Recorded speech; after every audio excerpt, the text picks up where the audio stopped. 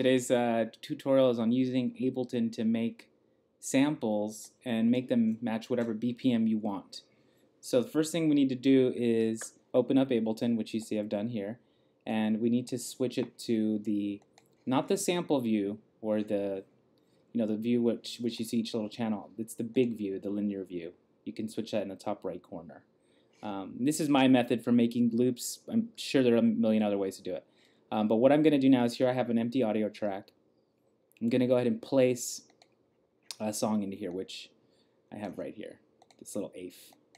So I'm going to grab it and drag it into Ableton. Okay, now I actually want to from the start. It does warp on its own, and actually it can figure out BPM for you, but I, I'm going to do this the long way just so it's I get to do the whole thing myself. So I'm going to unwarp it. It's the first thing I'm going to do. So I click on the file if I need to, and then unwarp it. So I uncheck warp. Next, I'm going to find a loop, which, if I remember correctly, it's right around 25 or something. So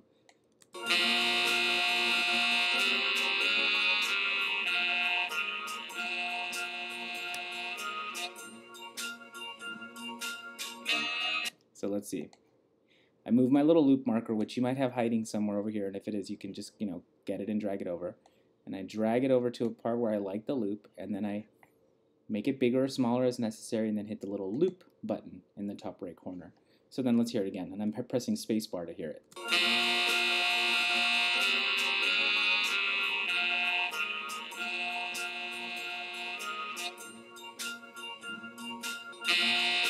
and it's almost there. Looks like it could probably come in a little later. And I'm just using the waveforms as a guide. You see it kind of gets thicker here, so that's a good guide. And then I'm going to look over here, sliding over. You can put your mouse in between the numbers and the thin little line at the top of the screen right in there. Your mouse will become a magnifying glass, and then if you drag up and down, it'll let you move the, the zoom of the whole thing. So let's hear this again from the top.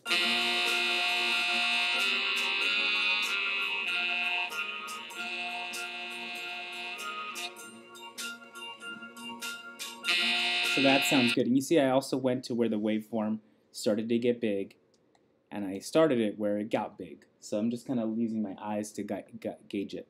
Now I'm going to zoom back in, and I'm going to delete the stuff I don't need. I don't need anything before the loop, so I'm just highlighting and deleting.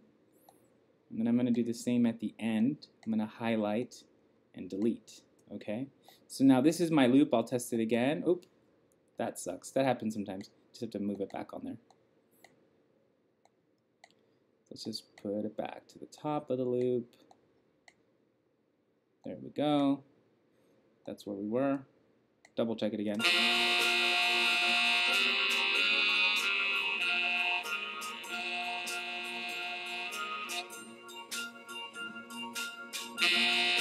And that sounds awesome. It's looping fine for me. So now I'm going to go ahead and delete what was ever in the front of the track and delete what was ever in the back of the track and this is all I really care about now is that little loop. So I'm going to grab that loop and I'm going to go ahead and drag it all the way to the beginning of the track. I'm also going to take my loop markers all the way to the beginning of the track. Then I'm going to zoom into the beginning of the track, putting my mouse in between the top bar and the numbers. Now ideally when you make loops, there's no rules, but ideally you want it to be a four bar loop so it's easy to make drum beats on top of it. So ideally, I'm going to move my looper. It'd be cool if the loop ended here but as you can see, the loop's a little longer because the BPM and the loop don't match yet. But now, I'm going to change the BPM to match the loop.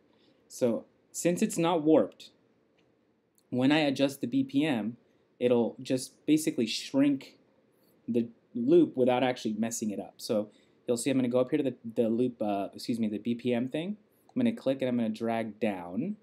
And you'll notice that the loop looks smaller. It still sounds the same, I'm just actually changing the time. Do you see how there's a number down here for the seconds?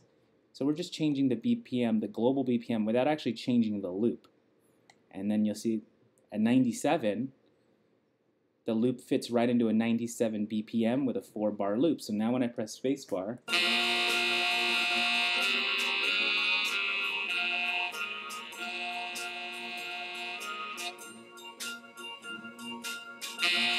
and that's pretty good. I mean, we could probably tweak the beginning and the end a tiny bit, but for the purposes of this tutorial, we were good.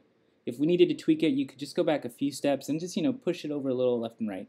But this is good. So now that I've got it, I'm going to double click the loop again just to see what I've got down here. And you'll notice that I'm looping a section of it, but I've got all this extra junk. That is just going to slow me down later.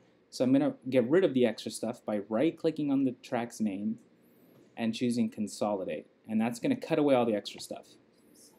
And what that does when I do that is it automatically warps it again.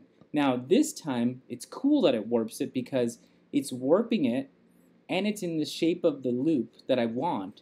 So now the cool thing is if I change the BPM, I'm now going to be changing the BPM of the loop, which might be cool because you're saying, oh, you know, I want that loop, but I want this song to be really fast.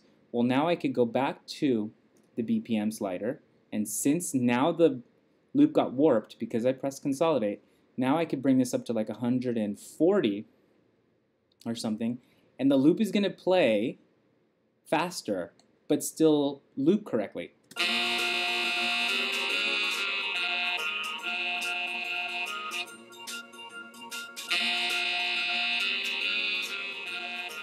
and I could go ridiculous just to you know illustrate the point. Let's go to 180 something.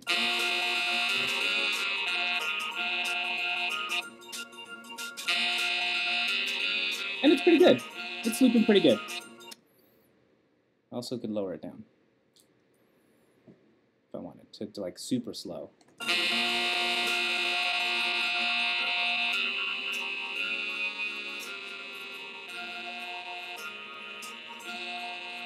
You get the drift. Now, it was back at 97 where it was normal.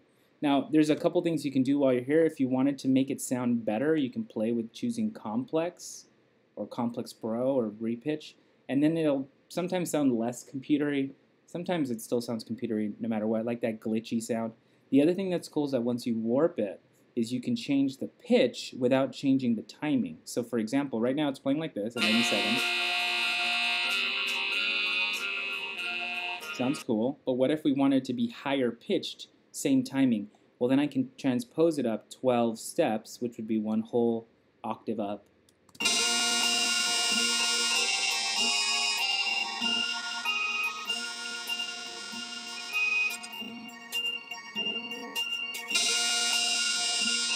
And now it's playing a whole octave up. So what you do at this point, now that you've got the loop, and I'm going to actually put it back to zero, is I'm just going to make a bunch of copies.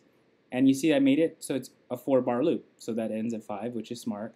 And then to make a bunch of copies, I just click on the file and press Command D if you're on the Mac or Control D if you're on the PC.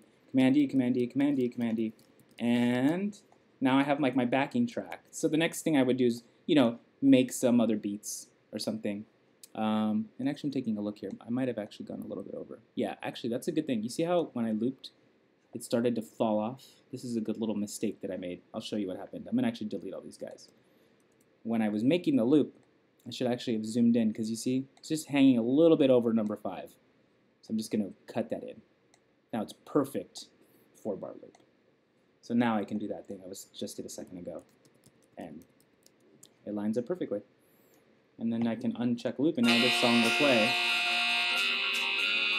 And I can start from the beginning or the end or whatever and it's done. So I made a loop. I made it fit um, to whatever BPM I want. And that's it. Okay, bye.